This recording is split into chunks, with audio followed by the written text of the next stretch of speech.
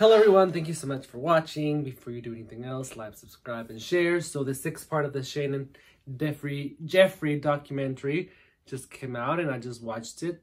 It's the Conspiracy Collection reveal. Jeffree Star and Shane Dawson. And I must say that it was a great episode. It was one of the longest when it's kind of started out with the merch and showing where it's housed and everything and they mentioned that it's sold out in 30 minutes and it did. When i tried to buy it the only thing that was left were the slippers and they didn't have my size so i couldn't even get that. So it's crazy how everything went so fast. Everybody's reacting very favorably towards the collection towards the merch everything and it's pretty amazing. Well it's good product also. Um also love seeing Rich Lux in there, so he got a glimpse of the merch before he came out. He kept it very hush-hush, which of course he did because he's their friend. I also um, talked about like the shipping process and like how it's gonna be packaged and all of that, which I got to thinking like there's a lot of waste involved in shipping a product from you know the box it goes in and then the wrapping and then the other box and then it's just so much waste and like how conscious are these people who are making product any type of product about the waste they're generating? Even though you even if you go to Whataburger through the window like to take it with you to go through the drive through couldn't think of the word like it creates a lot of waste. Like everything we do creates a lot of waste. The good thing about this collection is that everything is so beautiful and it's such like an artistic piece that I feel like everybody's gonna want to keep every part of it, you know, just because it's so pretty.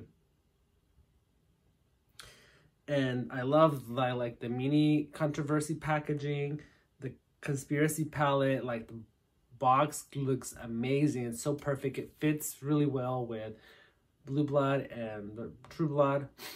I always forget what the red one's called. It's not, is it True Blood? Well, anyway, it fits really well. Like, it, it almost makes sense that that's how it needed to look like.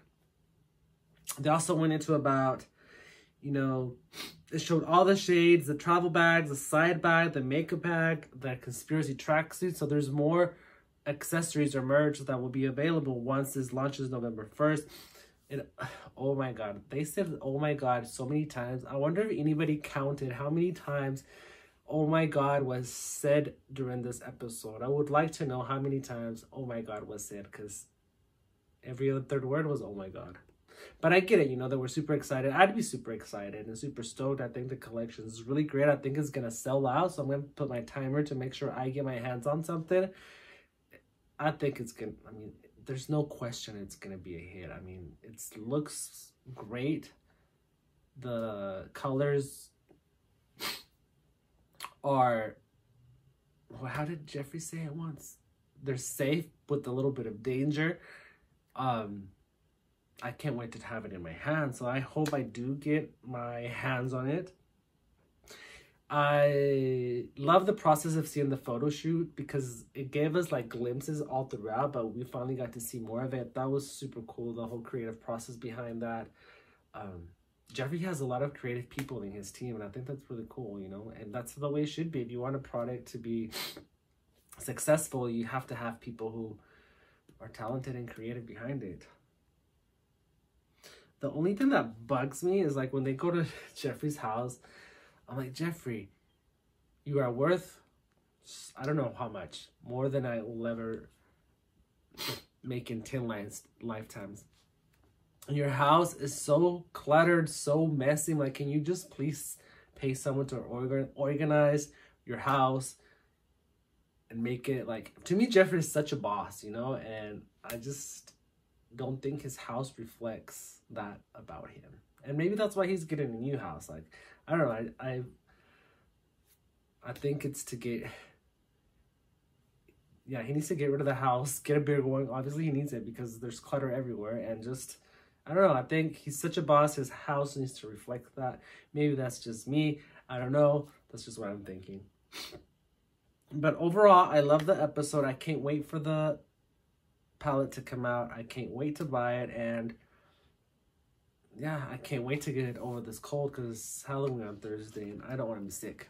But anyway, tell me what you thought about this episode and are you as excited as I am to get that palette in my hands?